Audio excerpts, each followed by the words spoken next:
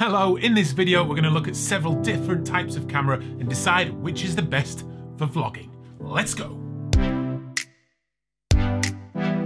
Hi, I'm Adam and welcome to First Man Photography. Before we get into the video today, if you haven't checked out my free ebook on how to capture perfect exposure every time, make sure you head over to firstmanphotography.com slash ebook and you can download it for free there by joining my email list. More and more of you recently are thinking about starting a vlog or you have started a vlog recently, so I thought I'd create this video just to give you a bit of an overview of the different types of camera that you can use, what I'm using, and then hopefully you'll be able to make that right decision to start creating vlogs for yourself with the gear that's right for you. Before we start thinking about what type of camera we're going to use for our vlog, we first need to think about the production quality that you want for your video. Obviously that comes within your budget as well. To get really high production quality, it's gonna cost more and it's going to be more difficult? Or are you just going in at the low level with something straightforward, simple and cheap? And there's nothing wrong with that because the most important thing with a vlog by far is the story. What story are you going to tell? And also you form a vital part of that as well. Are you good on camera? Have you got something to say?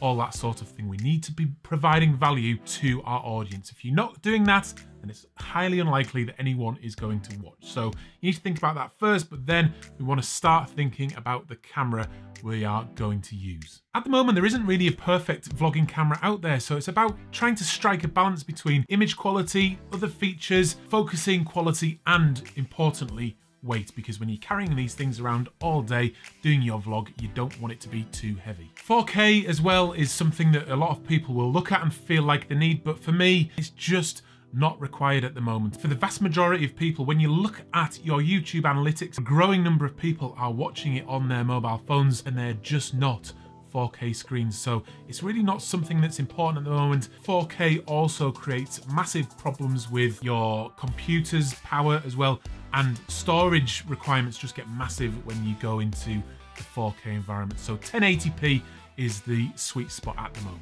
So once you've got all that nailed, we then want to be thinking about the actual camera we're going to use. So we'll start with what the vast majority of us have, and that is a phone. You can vlog very successfully just with your phone. And I have an iPhone 6s here, and you can just put it on a little tiny little tripod stand like this and then hold it out in front of you and you can just vlog like that. So this is the raw footage straight into my iPhone. It's gonna do the job quite well. Only slight downside is that most front-facing cameras on phones at the moment are 720p. So if you're gonna put it into a project that's 1080, you'll need to upscale it, or you're just gonna have to put your project out at 720. And really, there's nothing too much wrong with that, but a lot of the newer cameras on the phones do have a 1080p front-facing camera, but it's something small to think about.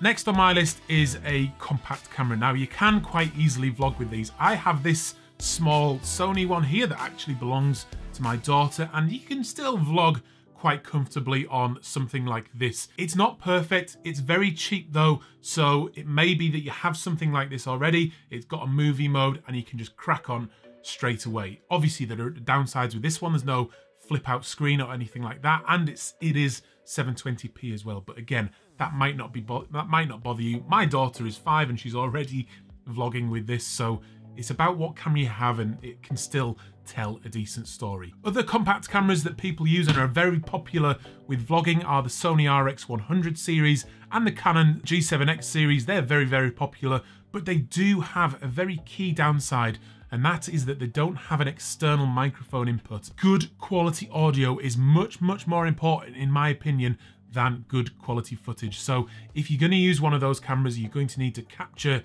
the audio externally with an audio recorder and a separate microphone. Next is something like a GoPro. I have this very cheap Chinese import GoPro thing here. The upside of this by miles is just how small, how well built it is and how I mean, it's bomb-proof, isn't it, when it's in a case like this. It also has a nice wide-angle lens on there, so it doesn't feel like you're right up in the viewer's face when you use it. The downside of this, though, is that it's a fixed wide-angle wide -angle focal length, so if you want to be capturing other types of footage for B-roll and things like that, this is far from ideal.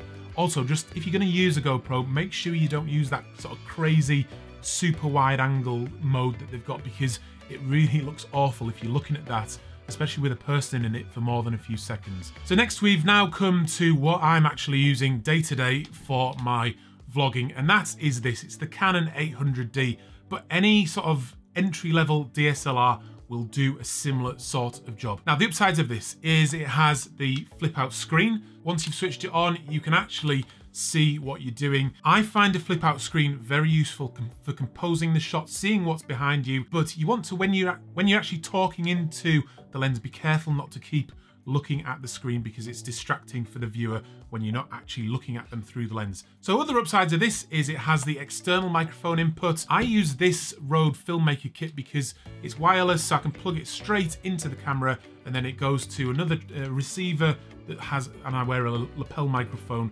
which captures the audio. But the good thing with that is it goes straight into the camera and it will stop and start when I press record on the camera. One of the great things about using an entry-level DSLR like this is the interchangeable lenses because most of the compact cameras have a sort of 24 to 70 millimeter lens. With this one here that I've got on now, it's a 10 to 18 millimeter lens. At the moment, I'm at 14 millimeters, which is about equivalent to 24 millimeters. It just sometimes feels like I'm a little bit close in your face. I have it on this Gorilla Pod as well, which puts me a little bit further away. But as you can see, as I just zoom out to 10 millimeters, it just puts me further away and it just feels much more natural and I'm not right up in your face. And when you're vlogging, it just kind of feels a bit better and it's less intrusive when you're watching the video. So all the entry-level Canon cameras all now have the dual pixel autofocus, which is just second to none on these Canon cameras. It locks onto your face with face detection and then just never misses after that. Top quality, 800D this is. The lights, they're not that expensive relatively as well, so it's a really good choice and I think as near as perfect as you can get to a, a vlogging camera at the moment. I've got it on this Gorilla Pod here as well, just to extend and get the camera a bit further away from me again. There are limitations to this though as well. The slow motion footage that can capture this camera captures is only 60 frames a second and for the videos I've been doing recently I've wanted more than that so I can slow it down even more. And that's why my last option is the Canon 5D Mark IV. This is actually the Canon 5D Mark II, as you can see. I'm filming the video on the 5D Mark IV at the moment, but the, the upside of that is it's just such better quality footage than even this one captures. And it also has the 120 frames per second slow motion as well. That is at 720p, but once you upscale it on YouTube, you can't really tell the difference. But the slow-mo the slow-mo on there does make a difference and adds another level of quality to the videos. The downside though is it's just so heavy and it's just not realistic for me to be sort of holding that up and carrying it around all day long. It's also exceptionally expensive if you don't have any other reason to buy that camera, but it's adding another level of quality to my footage and that's why I've started to use it. At the moment, I'm using the majority of these things to create my vlogs in addition to the drone, and it does add a level of complexity to the to creating the video, especially when I'm trying to capture landscapes at the same time, but that's what I've decided to do to up the quality of my videos. You might be quite happy with just using one of these, I used pretty much just this for a long time and created some good videos with that. So there are options to match all budgets as well, really. So really isn't an excuse if you're thinking about creating a vlog to start doing it straight away. Just get your first video created, upload it, forget about it, and then create another one and repeat, repeat, repeat, and you'll soon find that you're getting much, much better. So I hope you've enjoyed this just to get an overview of what I'm using and why I'm using it, and just hopefully give you an idea of what you might want to use as well. Please do subscribe to the channel if you haven't done so already. I'll see you on another video very, very soon. I'm Adam. This is First Man Photography. Out.